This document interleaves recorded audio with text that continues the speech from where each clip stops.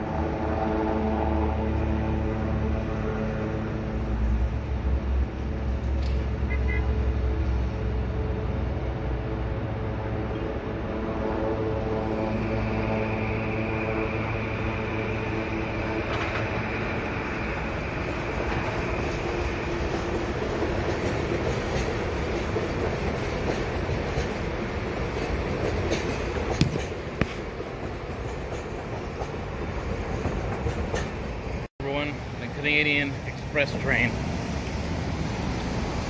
And you had the regular train that that I was on the other day. The high rail and everything. So thought you'd check that out. Well, I'll have more. Thanks for watching.